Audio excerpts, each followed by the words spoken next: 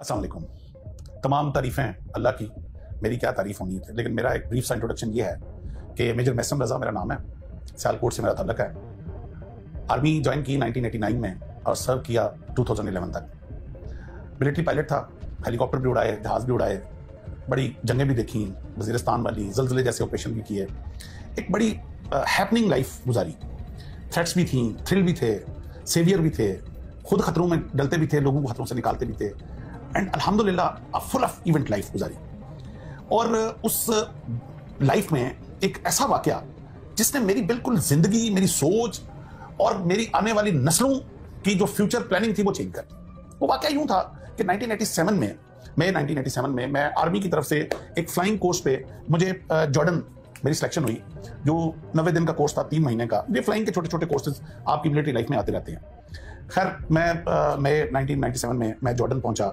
तो वहाँ military base है, किंग हुसैन मिलिट्री बेस वो एक उनका छोटा सिटी है, अल मफाक। मफाक में वो बेस है, किंग हुसैन मिलिट्री बेस जब वो उनके कर्नल साहब थे कर्नल हुसैन नाम था उसका, वो जो उनके उसको जीवन क्वाड कहते हैं, जो कोऑर्डिनेशन करता था, तमाम एलाइड ऑफिसर जो बाहर से आए होते थे, उनकी रेजिडेंस और जब उसने लिस्ट दी हमें कि कौन किधर ठहरेगा तो उसमें वो एक फ्लैट था, जिसमें दो पायलट्स ने रुकना था। जो तमाम फॉरन पायलट्स जितने भी थे, वो दो दो पेयर पेयर किया हुआ था। तो जो मेरे साथ पेयर था वो इसराइली पायलट था।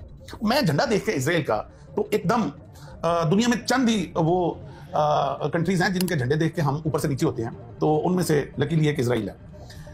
तो मैं एकदम आई वाज शॉक्ड और मैं करण हुसैन को मैंने कहा जाकर कि, सर, आपको पता भी है कि diplomatically we are not align with Israel so if you could change my flatmate तो उसने एकदम कलम पकड़ा, उसने कहा हाँ हाँ व्हाई नॉट यस तो अच्छा जब वो काटने लगा तो ऐसे मेरी तरफ़ ऊपर देख के मुझे कहता है but just for your information that pilot of Israel requested me to be your flatmate अब जब मैंने ये सुना कि दुश्मन ने ये चैलेंज दिया कि मैं पाकिस्तानी ऑफिसर के साथ मुझे कर दें तो मैंने कहा, अब मैं नाम कटवाऊं तो फिर मैं पाकिस्तानी नहीं तो I accept this challenge I will live with Israeli pilot for 90 days and then life starts दो चार दिन तकल्लुफ में गुजरे, वो भी थोड़ा रिज़र्व रिज़र्व लगा। वो समझ था पता नहीं, मैं कोई आईएसआई का एजेंट हूँ। चंद दिनों में हमें ये समझ आ गई कि ना मैं आईएसआई का एजेंट हूँ, ना वो मुसाद का एजेंट है। तो हम दोनों पायलट हैं और कोर्स करने आए हुए हैं। आठ दस दिन के बाद बेतकल्फी हो गई। सुबह क्लास में इकट्ठे जाना, शाम को खाना, इकट्ठे खाना। जब बेतकल्फी इस लेवल की हुई तो मैंने उससे पूछा, मैंने कहा you requested me to be your flatmate he said yes मैंने कहा is is there any particular reason for that तो जो उसका जवाब था शोएल का, वो मेरा लाइफ चेंजिंग मेरी पाकिस्तान के साथ मोहब्बत, उस दिन मुझे मेरी पैदा हुई मेरे अंदर। उससे पहले मैं बाय डिफ़ॉल्ट पाकिस्तानी था, लेकिन मैं 1997 इस वाक्य के बाद मैं बाय चॉइस पाकिस्तानी उसने जो जवाब दिया, वो मैं बार बार इस कौम को वो जवाब बताना चाह रहा हूँ। मैं इससे पहले वाली भी एक वीडियो में, मैं उससे पहले वाले एक प्रोग्राम में मैं बताता ही सेट के हम पैदा हुए थे तो माँ की गोद से हमें बताया गया था कि तुम्हारा दुश्मन अरब नहीं है, तुम्हारा दुश्मन पाकिस्तान है। कहता है, उसके बाद मकतब में आए तो मकतब में हमें पढ़ाया गया कि तुम्हारा दुश्मन पाकिस्तान है। कहता है, मकतब के बाद स्कूल में मकतब उनके कहते हैं मदरसे टाइप को, जो कंपलसरी है स्कूल से पहले। अच्छा कहता है, उसके बाद स्कूल में आए तो स्कूल में जो चैप्टर हमें एनिमी का पढ़ाया जाता था, उसमें झंडा पाकिस्तान का लगा होता था। उसमें पाकिस्तान की ज्योग्राफी पढ़ाई जाती थी। पाकिस्तान का नहरी निज़ाम पढ़ाया जाता था। पाकिस्तान का फौज की स्ट्रेंथ हमें पढ़ाई जाती थी। कहता उसके बाद यूनिवर्सिटीज में कॉलेज में एनिमी के तौर पर हमें पाकिस्तान पढ़ाया जाता कहता फिर मैं आर्मी में आ गया। जब आर्मी में आया तो सारी दुश्मन की मिलिट्री स्ट्रेटेजीज जो हैं, वो हमें पाकिस्तान की पढ़ाई जाती थी। कहता जब पैदा होने से लेकर आज तक दुश्मन दुश्मन दुश्मन पाकिस्तान सुनते आए तो एक मौका मिला कि दुश्मन के साथ नवे दिन गुजारने का तो वो आर्मी की टर्मिनोलॉजी होती है नो यूर एनिमी तो कहता है नो यूर एनिमी का चांस मिला तो बाई शुड इट मैं उसकी बात सुन के थोड़ा सा मैं हैरान हुआ। मैंने कहा शुएल ठीक है, हम आपको ड्यू टू मस्जिद अक्सा एंड ड्यू टू फलस्तीन, हम डिप्लोमेटिकली आपको एक्सेप्ट नहीं करते। मगर इस लेवल का हमने कभी आपको दुश्मनी के भी काबिल नहीं समझा। हमारे लिए तो इंडिया ही काफ़ी है जो हमारे साथ जुड़ा हुआ है, मशरक के ऊपर। और उसके लिए हम काफ़ी हैं, हमारे लिए वो काफ़ी है। तो तुम लोग किस लेवल पे जा चुके हुए तो हमने भी नेवर थॉट तो जो इसके बाद जो उसने जवाब दिया, वो इससे भी ज़्यादा हम था उसने कहा, तुम लोग अभी सोए हुए अभी तुम्हारे लीडर्स तुम्हें बता नहीं रहे कि तुम लोग क्या हो और क्या काम तुम लोगों से लिया जाना है। जबकि हमारे लीडर्स ने हमें बता दिया। इसलिए हमें बहुत क्लियर है कि तुम लोग क्या हो। लेकिन तुम लोग को खुद भी नहीं पता तुम लोग क्या हो। और जब मैंने थोड़ा इसरार किया, उसको अनफोल्ड किया तो उसने कहा कि कभी तुम लोगों ने गौर किया कि पूरी दुनिया का नक्शा ले लो। पूरी दुनिया में दो कंट्रीज़ ऐसे हैं जो रिलीजियस आइडियोलॉजी की बुनियाद पर बने हैं। और वो एक पाकिस्तान और एक इसराइल है। पाकिस्तान बना 1947 में, इसराइल बनता 1948 अब what a coincidence what a coincidence कि नौ महीने के अरसे के अंदर अंदर दो मुल्क, जो काम जब से दुनिया बनी थी, नहीं हुआ था। और वो एक ही नौ महीने के अंदर अंदर वो काम दुनिया में होता है। पाकिस्तान बनता है सताइस रमज़ान को। वो मुबारक ताक रात, जिसके लिए हमारा कुरान भी नानजलना पूरी उतरी उसके ऊपर। हमारी सारी दुनिया जानती है कि वो ताकरात क्या है हमारे लिए। जिस रात फरिश्ते उतरते हैं अपनी रहमत के लिए, खुदा फरमा रहा है। और साथ वो भी अल्लाह का तुम क्या जानोगे ये रात क्या है? और इसराइल बनता है 1948 में। अब जब वो कहता है शोइल कहता है मुझे कि ये ये ऐसे ही नहीं बना। ये बाय डिवाइन हुआ है। और जब एंड ऑफ़ द वर्ल्ड जो जंग होनी है, वो हमारे दो मुल्कों के बीच में होनी है। आधी दुनिया तुम्हारे पीछे खड़ी होगी, आधी दुनिया हमारे पीछे खड़ी होगी। और ये उसके लिए तैयारी की जा रही है। अच्छा मैं उसकी बातें सुन के मैंने कहा, यार, ये लंबी छोड़ गया ये क्या बात कर रहा है? इसके पीछे तो आधी दुनिया खड़ी होगी। वो तो समझ आता है, अमेरिका इसके पीछे इसके पीछे यूरोप है, इसको बनाने वाले यूरोपियन है। तो हमारे पीछे कौन खड़ा होगा? तो अब आके वो क्या कहता है? अब आके कहता है कहता है कभी तुम लोगों ने गौर किया ऐसे उसने ना सामने वो एक पेंसिल पड़ी हुई थी जो हम पढ़ रहे थे। ये ड्यूरिंग स्टडी ये हमारी डिस्कशन हो रही थी। उसने पेंसिल पकड़ के ना कहता है, तुम लोगों के अंदर ये कैपेबिलिटी नहीं है अभी कि ये पेंसिल बना सको अपने मुल्क में? ये चाइना से इंपोर्ट करते हो। जबकि इस वक्त दुनिया का सबसे लेटेस्ट थ्री न्यूक्लियर टेक्नोलॉजी तुम लोग बना के बैठे हुए दिस इज़ अ तुम लोग अपना शार्पनर चाइना से मंगवाते हो। जबकि इस वक्त तुम फाइटर जेट बना रहे हो। उस वक्त हम प्रोडक्शन शुरू हुई थी।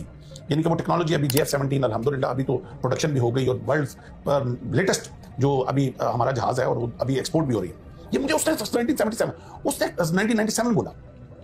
कहता है, ये ऐसे ही हो गया। दुनिया की छठी प्रोफेशनल आर्मी लेके बैठे हुए हो तुम लोग। और जो कंपटीशन इंटरनेशनल आर्मी का होता है, उसमें तुम्हारी फौज नंबर वन होती है। कहते हैं, ये ऐसे ही हो गया। जबकि तुम लोग इस वक्त आईएमएफ के कर्जे के अंदर बुढ़े हुए ये कौन कर रहा है? ये बाय डिवाइन हो रहा है। समबडी इज़ डूइंग इट ये तुम लोगों को खुद नहीं अभी समझ आ रहा। ये जब आखिरी वक्त आना है जब हम दोनों ने आमने सामने खड़ा ना तुम लोगों को उस वक्त तुम्हारे लीडर्स ने तुम्हें गाफिल रखा हुआ है। वो बेतकल्फी की वजह से फरत जज्बात में बोल गया। या कुछ, ऐसा भी है कि हम पाकिस्तानी होस्ट बड़े अच्छे होते हैं। मैं उसको अक्सर बाहर खाने के लिए ले जाता था, बिल मैं पे करता था। तो वो हमारी जो अच्छी होस्ट होने की एक काबिलियत है ना तो शायद उस वजह से वो सच उगल गया मेरे आगे। आप यकीन करें कि वो दिन था, जिस दिन, उससे पहले मैं बाय डिफ़ॉल्ट पाकिस्तानी था। लेकिन उसकी बातें सुन के मैं बाय चॉइस पाकिस्तानी हो गया। मेरे सारे रिश्तेदार फॉरेन कंट्रीज़ में थे। मेरे ससुराल सारा फॉरेन कंट्रीज़ में था। And they wanted me to settle in USA and I had all the opportunities to do very good abroad मेरे पास सब कुछ था, मगर I decided not to leave this country ever ever ever और मैंने अपने बच्चों को भी कह दिया कि ज़िंदगी है, खुदा करे कि वो मौका आए, वो आखिरी जंग हमारी ज़िंदगी में इसराइल के आमने सामने हो। खुदा करे मुझे मौका मिले कि मैं पहली सफ में लड़ रहा हूँ। खुदा करे कि वो खिलाफत और वो इमामत जो इमाम मैदी लेके आएँगे, जो हमारी दजाल के साथ जंग हो, वो हमें और मेरी औलाद को मौका मिले कि हम अगली सफों में लड़ रहे हो। इसलिए हम कभी ये नाम इस मुल्क को छोड़ सकते हैं, न कभी इस मुल्क के ऊपर आँच आने देंगे, हम अपना खून बहा देंगे। क्योंकि हमें अपने दुश्मन से वो बात पता है वो कहता है, तुम लोग इस वक्त जो एग्रीकल्चर रेवोल्यूशन तुम्हारा इंडिया पानी ये मुझे उसने बताया 1970 कि इंडिया प्लान कर रहा है तुम्हारा एग्रीकल्चर तबाह करने के लिए और तुम्हारा सारा पानी बंद कर रहा है और तुम्हारे अपने बिके हुए बीच में। जो पानी बंद करवा रहे हैं। और बाद में वो जमात रिशा पकड़ा गया, जो बिका हुआ था। खुदा लानत करे उसके ऊपर और उसके आलूलाद के ऊपर। जिस जो ऐसा शख्स पैदा हुआ, जिसने अपने मुल्क का सौदा किया और हमारे पानी को बर्बाद किया जाके, जो दरियाओं का उसने इंडिया के साथ सौदा किया। तो भाई, ये हबील और कबील की जंग है। ये हक और सच की जंग है। ये डे वन से जिस दिन इंसानियत बनी है, ये जारी हुई, ये जंग जारी रहेगी। अब आपकी चॉइस है, आपने हक के साथ खड़े होना या आपने बातिल के साथ खड़े होना ये जंग आदम के बाद हबील और कबील में जारी रही, ये मूसा और फिरौन में जारी रही। ये नबी किम सल्लम और कुरैश के बीच में जंग जारी रही। ये बाद में हुसैन और जजीद की जंग है। ये हक और बातिल क्यामत तक रहेगी। हमने ये फैसला करना है कि मुसीबतों से, ये बिजली के बिलों से, ये नाकस पोलिटिकल सिस्टम से तंग आके हमने अपनी फौज को गालियाँ देनी है। हमने अपने मुल्क को गालियाँ देनी है। और ये गालियाँ देकर हमने जाके बातल के साथ खड़े हो जाना। और चार दिन की ज़िंदगी है यार। कौन सी लंबी ज़िंदगी लेके आए हो? कौन था यार? कौन हज़ारों साल जिया है आज? हमसे बड़े बड़े लोग जो पहले पैदा हुए, इतनी आसाइशों की ज़िंदगी जी रहे थे, आज कब्रों में पड़े हुए हैं। चार दिन की ज़िंदगी है। ये सिर्फ़, ये इम्तहान की ज़िंदगी आपने के हक के साथ खड़े रहते हो, या तुम मुसीबतों से तंग आके बातिल की तरफ़? जो लोग आज अपनी फौज को गालियाँ दे रहे हैं, ये चंद लम्हे के लिए करबला की उस जंग और उस आग की तपश को याद कर लें कि जो मुसीबतें उन्होंने उठाई, अहले बैत ने, और किस तरह उन्होंने हक के साथ खड़े रहे।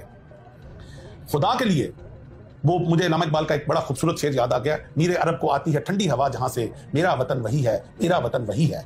ये मेरे अकसम को ठंडी हवा हमारे मुल्क से आई है। ये है वो फौज जिसने निकलना है इमाम मेहदी के साथ और जिसने दजाल के साथ लड़ना है। हमें ये बियन ये इसराइली अफसर ने दे दी थी।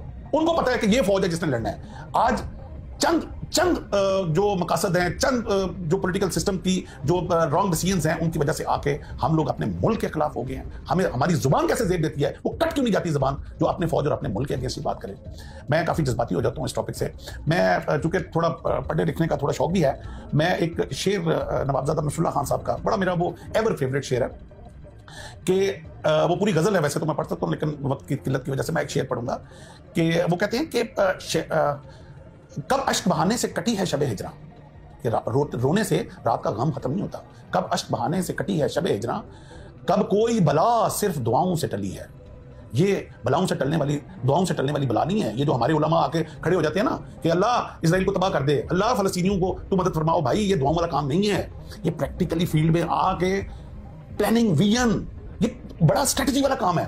और मैं आखिर पे मैं ये मेरा सारा टॉपिक जो है ना इनकम्प्लीट रहेगा। अगर मैं एक शख्स का नाम ना लूँ जिसमें मैं पूरा पिछला प्रोग्राम कर चुका हूँ। David Ben Gurion 1948 first prime minister of Israel वो शख्स वज़ीर आज़म बनता है? पहला इजलास होता है इसराइल में। और पहले इजलास में जो अपनी तकरीर करता है, उसमें क्या बकवास की उसने? वो मैं आज आपको वर्ड टू वर्ड इस प्रोग्राम में सुनाऊँगा। और अब सोचें कि उस कौम का वज़ीर आज़म बना जो मेरे आका सल्लल्लाहु अलैहि वसल्लम ने जंगे बदर में जिनको धकेला, बदर से। 1400 साल धक्के खाते रहे, दर बदर धक्के खाते रहे, इनको टिकाना नहीं मिला। यूरोप ने पहली और दूसरी जंग अजीम के बाद प्लानिंग करके इनको एक टिकाना दिया फलस्तीन के अंदर। और जब इनको छत मिली, जिस दिन छत मिली, उसने डेविड बेंगोरियन पहले इजलास में क्या बकवास करता है? मैं वर्ड टू वर्ड उसको कोड अनकोड करूँगा। He said the world Zionist movement should not be neglectful of the dangers of Pakistan to it and Pakistan now should be its first target ये 1948 में ये कह रहा है। For this ideological state is a threat to our existence and Pakistan the whole of it hates the Jews and loves the Arabs. This lover of Arabs is more dangerous to us than the Arabs themselves. For that matter, it is most essential for the word Zionism that it should not take immediate steps against Pakistan. Whereas the inhabitants of the Indian Peninsula are Hindus, whose hearts have been full of hatred towards Muslims. Therefore, India is the most important base for us to work there from against Pakistan. It is essential that we exploit this base and strike and crush Pakistanis, enemies of Jews and Zionism, by all disguised and secret plans. Every word is notable in this. और आखिर पे वो लिखता है by disguise and secret plans फिर वो लिखता है हिंदूज के साथ जुड़ जाओ। आज क्या हो रहा है? कौन नहीं देख रहा इस वक्त इंडिया का और जो इसराइल का आपस में कोलेब्रेशन है? आज जो फास्फोरस फलस्तीनियों के ऊपर फेंका जा रहा है वो इंडिया से एक्सपोर्ट हुआ है। कौन नहीं जानता? खुदा के लिए पाकिस्तानियों खुदा के लिए मुसलमानों इकट्ठे हो जाओ। जब दुश्मन इकट्ठा हो सकता है पाकिस्तान के लिए तो तुम लोग अपने लिए इकट्ठे क्यों नहीं हो सकते? दिस इज हाई टाइम वाता से मुबहबिल्ला जमी अमला तफरकू हमें एक झंडे के नीचे वापस इकट्ठे होना है यही हमारी बका है और यही अल्लाह ताला हमसे चाहता है इसके साथ ही मैं आपसे इजाजत चाहूंगा पहुंच Let's go to the third uh, question, and that would be, what is the biggest problem facing the next generation, and what should we do to solve it today? I said that the greatest mission that we have is to prevent uh, a militant Islamic regime from meeting up with nuclear weapons or from nuclear weapons meeting up with a militant Islamic. The first is called Iran. the second is called Pakistan. President Obama's speech, and you said, you know, that Pakistan is the new target. However, he's saying that Pakistan and the United States have to have this important partnership. Um, what's going on there then? The goal, once again, is to destroy Pakistan as an energy corridor between Iraq, Iran, other countries in the Middle East that produce oil, and China, because that's where a pipeline could go. The pipeline could start in Iraq, it could go to Iran, it can go up through Pakistan, cross the Himalayas, above Kashmir, go into China. This would be oil going towards China and Chinese economic influence coming into the Middle East and essentially cutting out the Anglo-Americans. And how is that going to happen, the, the, destruction of Pakistan? The, the idea is to provoke a civil war. In other words, take the existing civil war inside Afghanistan and massively export it. The U.S. would uh, possibly consider a direct attack on Pakistan, but they can't because Pakistan is too big and it has nuclear weapons. So there's nuclear deterrence. The only way to do it is to take the Pashtun population in Afghanistan and Pakistan, rile them up into uh, an independence movement, do the same thing with the people in Baluchistan, and with that you've, you've carved uh, Afghanistan, you've broken Pakistan into four pieces or 3 mm -hmm. and you've even started to carve Iran because those Baluchis are a peripheral group of the Iranians. So परचम हिलाल के। हम लाए हैं तूफ़ान से कश्ती निकाल के, इस मुल्क को रखना मेरे बच्चों संभाल के। हम लाए हैं तूफ़ान से कश्ती निकाल के, इस मुल्क को रखना मेरे बच्चों संभाल के। बरसों के बाद फिर उड़े परचम हिलाल के, इस मुल्क को रखना मेरे बच्चों संभाल के। हम लाए हैं